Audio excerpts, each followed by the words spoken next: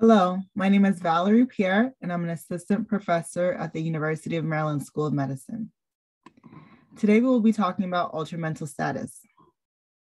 But first, why do I love emergency medicine? I love emergency medicine because I like taking care of all patients, regardless of their background or chief complaint. I love that I'm trained in a specialty that gives me the opportunity to take care of any acuity level of patient care. And I love that I'm capable of being able to save someone's life in any emergent situation. My interests in this field are diversity, equity, inclusion, point of care ultrasound, and medical education.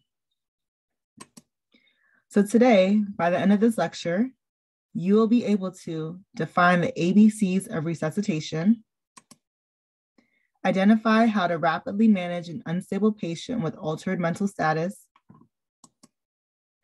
and develop a broad differential for a patient with altered mental status. But first, what is altered mental status? So it's a pretty catch-all term for a change in someone's baseline mental status due to an underlying condition. It's a very common chief complaint in the emergency department, representing about 5% of all ED presentations. It is very important to have a broad differential when seeing these patients as a lot of times they don't read the textbook and more than one thing can be happening simultaneously. As you can see, altered mental status can also vary upon a continuum of terms um, from confusion, delirium, lethargy, obtundation, and coma. And finally, if you've watched the news, I'm sure you've heard the term of agitated or excited delirium. It's an often misused term that does not have a true medical or psychiatric diagnosis. It is often characterized by agitation, aggression, acute distress, and sudden death, often in the pre hospital setting. So, what do you do when you first see a patient with altered mental status? You assess the patient's one liner, as I call it. The one liner is their age, their chief complaint, their general appearance, and their vital signs. So the vital signs that we typically talk about are the blood pressure, heart rate, core temperature,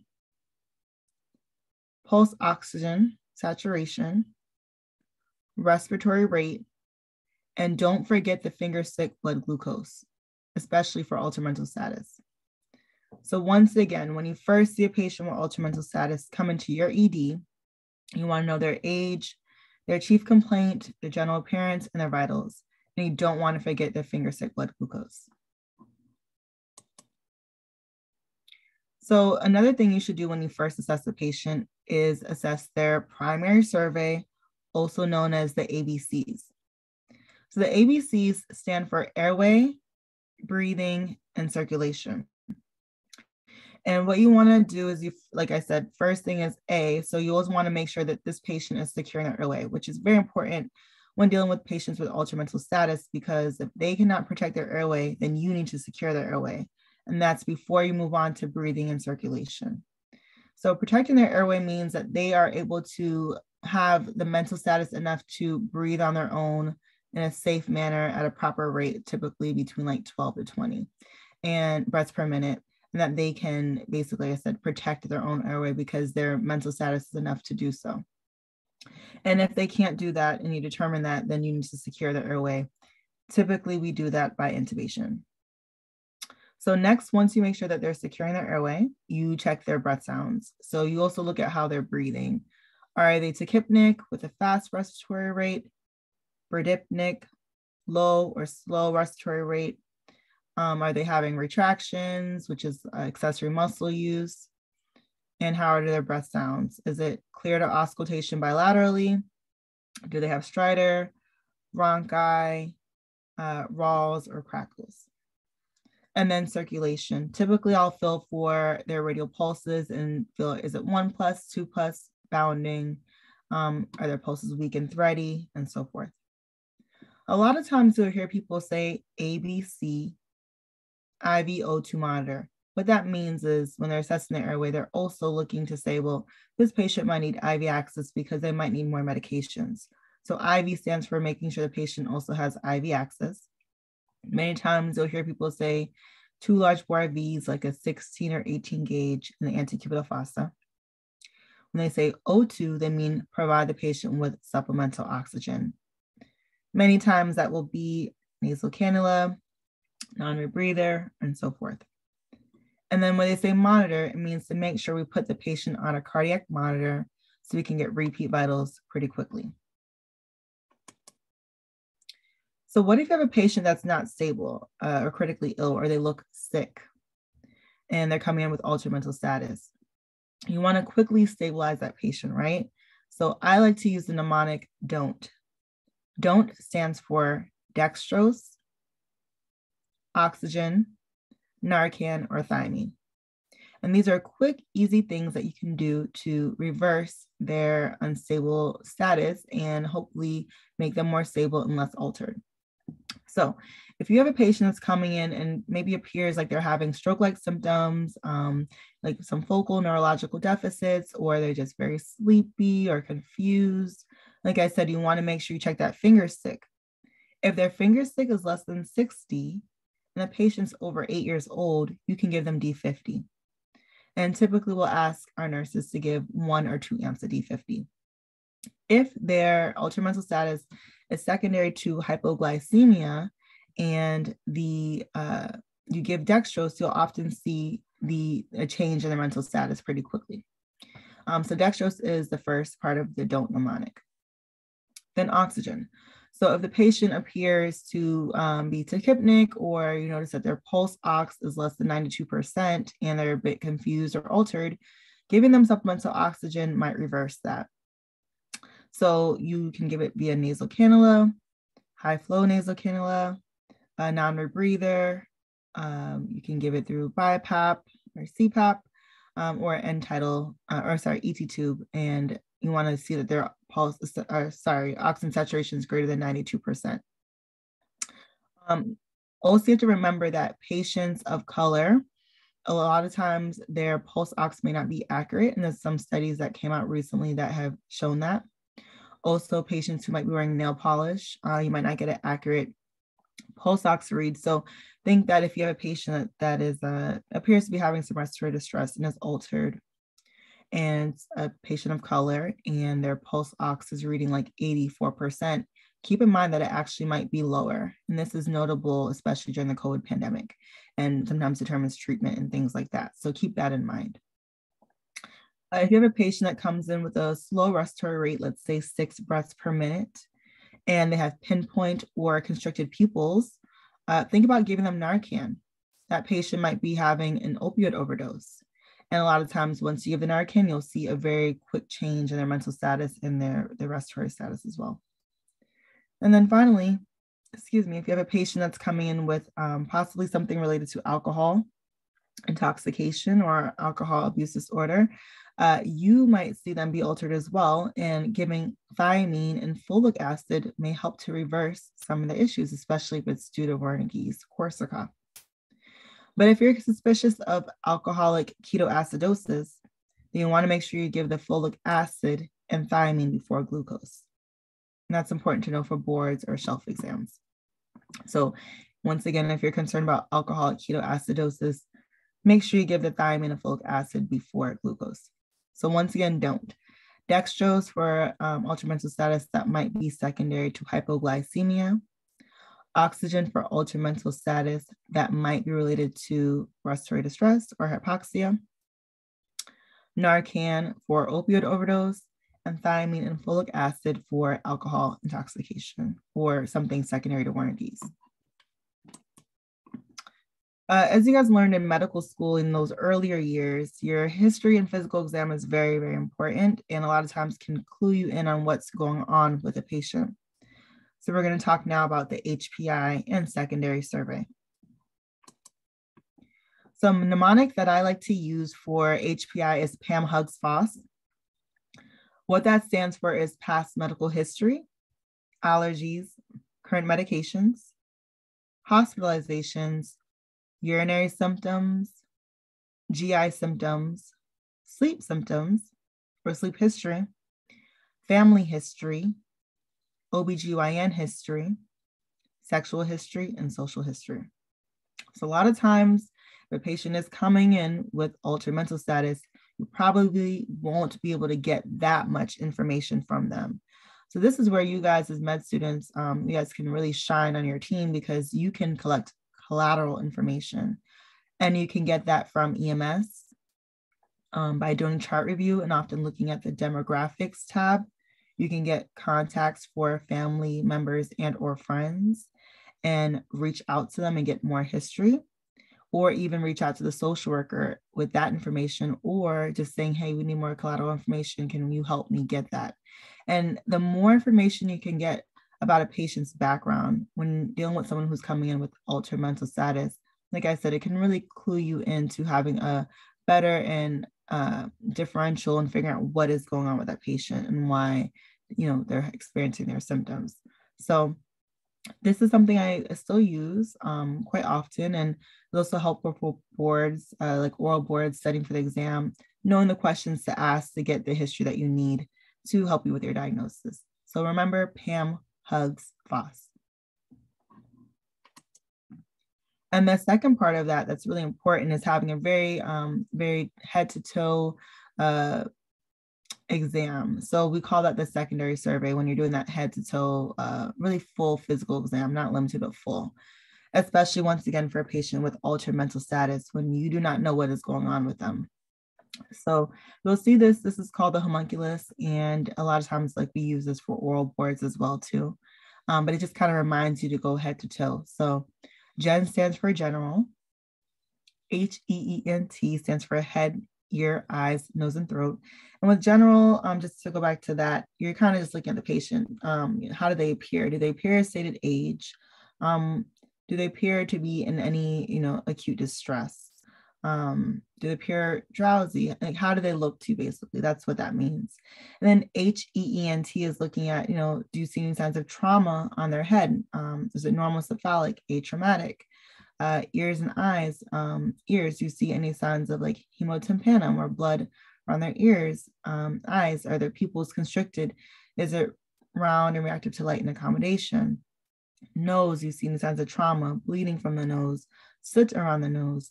Same thing, throat. Do you see any soot around their nose? Is their tongue um, hanging out their mouth? What What do you see? So those are things you want to really clue in for um, for different, you know, uh, diagnoses associated with altered mental status. Neck, is there any lymphadenopathy, any JVD? Heart, you want to listen to, you know, the rate, um, the rhythm. Um, you know, do you also hear like an S3, S4? Are their heart sounds muffled? These are things you want to take note of. Lungs, we talked about that earlier. Um, how their breath sounds. Are they retracting or having accessory muscle use? Um, walls, rhonchi, coarse breath sounds could be pneumonia in an elderly person causing altered mental status. Their abdomen, is it soft, firm, rigid? Uh, you know, do they have any tenderness? And if you are able to talk to them, they're able to communicate with you, the patient, when you distract them, like talking to them about, you know, how was their day or what is their favorite food, whatever. Are they still tender when you palpate their belly? Really distracting them is really good to elicit if they're truly tender or not and um, doing some of those other signs that you'll learn about in other videos like Murphy's sign, assessing for Rovsing's sign, McBurney's point, things like that. GE rectal, um, you know, it's important with altered mental status patients, you know, they might not be able to give you consent. And if it's actually, you know, needed, that is an exam you want to do, have a chaperone in the room. And if there is someone who's able to give you consent, have them give you consent for that exam. But it's sometimes more important if you're worried about like infection or um, other uh, issues that might be causing their altered mental status. And then it's very important to roll the patient. Usually you'll be part of the team for that. To look at their back, any signs of trauma, um, any rashes, ecchymosis, anything that can help clue you in and get you a better exam. Uh, neuro is the crux of the altered mental status patient's exam. You really got to assess. I always like to assess, uh, you know, their uh, their alertness and orientation. So are they AO times three to person, place, and time? And also you want to know, do they follow simple commands? Um, if you can do a cranial nerve exam, two through 12, you want to assess that. Motor function, sensation, reflexes, cerebellar function, finger to nose, heel to shin. You want to look at their Rombergs and their gait. Uh, obviously, you won't be able to do this for all patients, but I think in these patients, as much as you can do for a neurological exam, it really will help you. And it's really important to compare what you know to their baseline. So if they're a learning oriented times one, let's say to just person on your exam, and you have a family member telling you at their baseline, their AO times three to person, place, and time, that's something to note, especially like you're attending and your team and your senior residents know, um, because that's obviously they're altered from their baseline. I also want to look at their extremities um, to see, you know, is there any clonus going on? It's like a serotonin syndrome, um, any rigidity, or anything about NMS. Uh, their skin, you know, rashes. Uh, you have to think of especially hematological disorders that cause uh, rash and different things like that, or um, petechiae, purpura, you know, TTP, all these things. These are things you want to note. Um, their skin, uh, lymph exam, and psych. Psych, you know, is their mood normal or is their mood kind of developed a blunt affect? These are things you'd want to know. Are they um, having an acute psychotic episode and that's why they're altered? These are all things you want to note in your exam and make sure that you um, discuss, especially during a presentation to your attending or senior residents. So when I'm thinking of my plan now, uh, after I do my H&P and I have the vitals, I definitely always, I made the, this mnemonic called Lime, and I always want to make sure I'm getting everything that I need to get, you know, possible in my plan so I can help figure out what's going on with the patient. So labs, you don't want to forget your point of care studies. Like I said, your finger stick blood glucose. Um, sometimes the point of care um, blood gas will be helpful depending on what you're looking for. So just some, we have something like a, a we call it a general altered mental status workup, and I'll discuss that with you shortly. But making sure those labs that you order anything you might need for this patient, uh, that's really important. Imaging. Don't forget your EKG if it's necessary. And a lot of altered mental status patients, I would always probably order an EKG on them if I'm concerned about any arrhythmias um, or toxidromes that might cause arrhythmias, um, things like that uh, medications, it's really important to know like, do you need to treat them? So once again, like don't, that encompasses certain medications you might want to use for patients with altered mental status. So just keep in mind um, if their patient, if the patient is showing you any signs of pain, you don't want to forget to address their pain as well.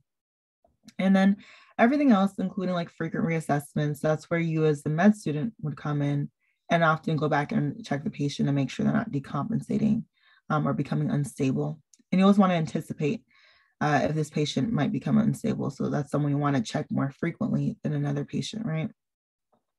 So a general altered mental status workup that a lot of times will do for patients, um, it'll include labs, obviously like a CBC, you want to see how how's their white count, um, their hemoglobin.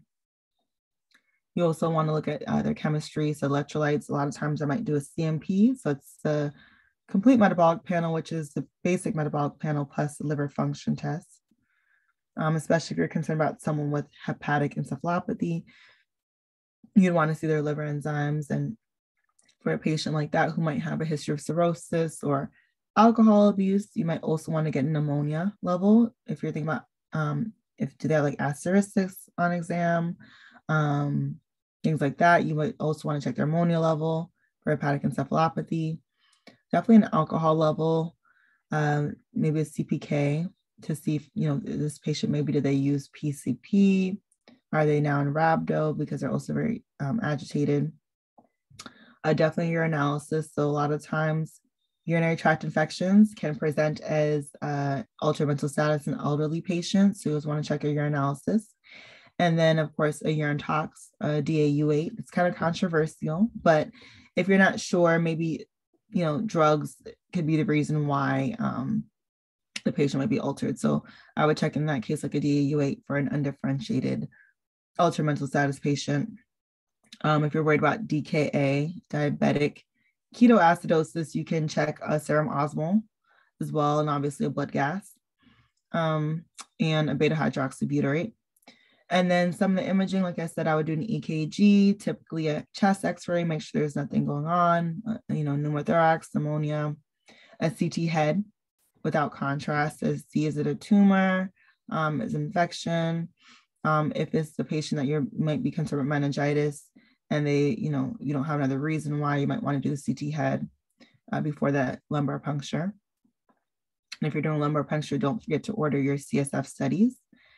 Um, medications, like I said, if the patient is showing any signs of pain, then you would want to address that. But the patients also, if they're altered and they are um, a danger to themselves or a danger to their care or other people, you might need to sedate them. You can use physical restraints, um, four point restraints, mittens, gloves, uh, um, arm restraints, things like that. Or you can use chemical restraints with sedation. So that would be things like benzodiazepines, like Ativan, Versed. Um, sometimes people use Haldol, ketamine, propofol, things to sedate them just a little bit so you can, um, they're not a danger to themselves or others. And then everything else, like I said, frequent reassessments and, and things like that. And that's where you can shine on the team.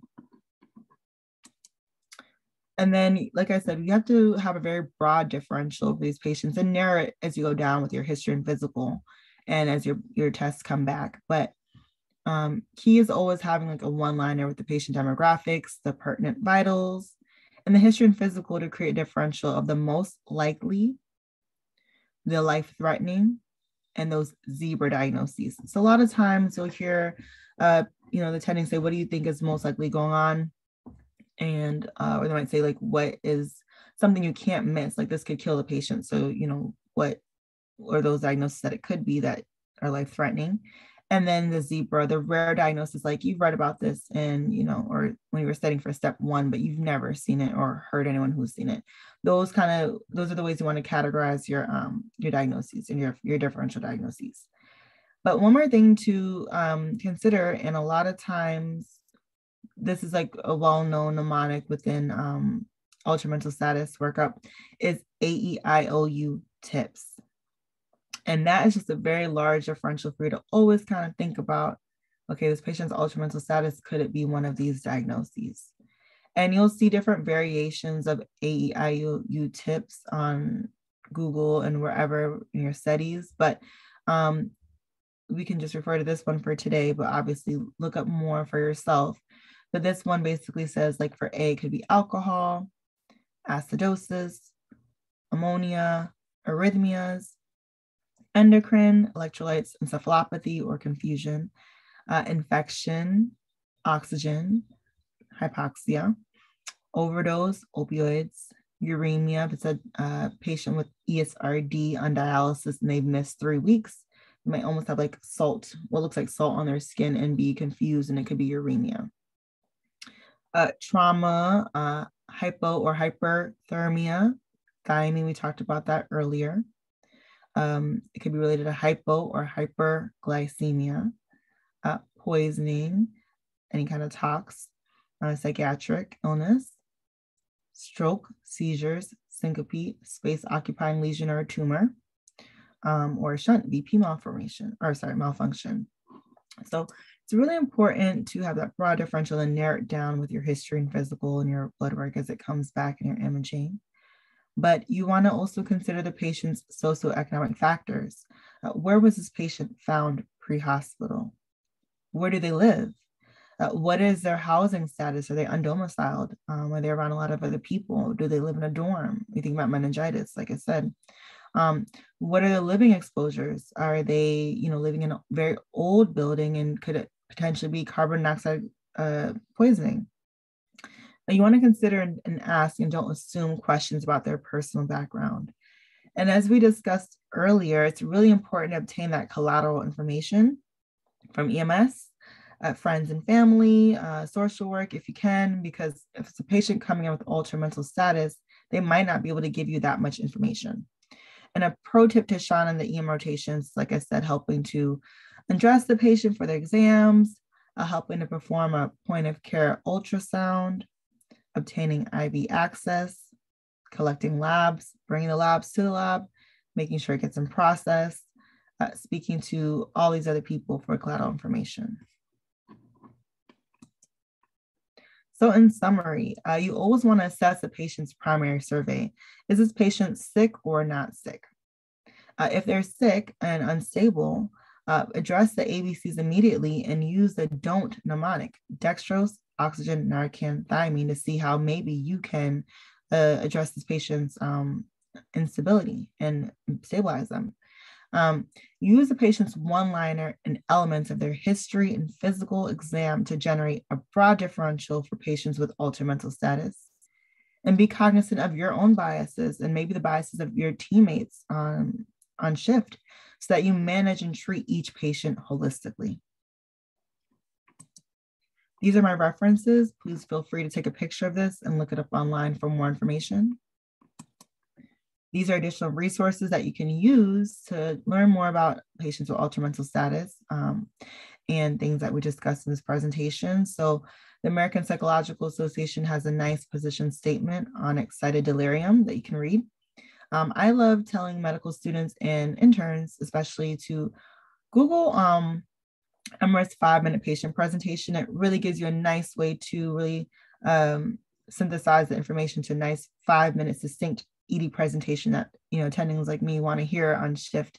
That we so we know that you know what you're talking about and telling us what's pertinent, but not giving us a lot of extraneous information. It's good to know all that information, but you don't always need to present everything unless we ask you. And then Flip Classroom has a great um, a great uh, topic about oral presentations in emergency medicine. So this is my contact information. Once again, my name is Valerie Pierre. It's been a pleasure to speak to you today. Uh, you can see my email. You can also reach me on Twitter, and I'm also on LinkedIn. Thank you guys.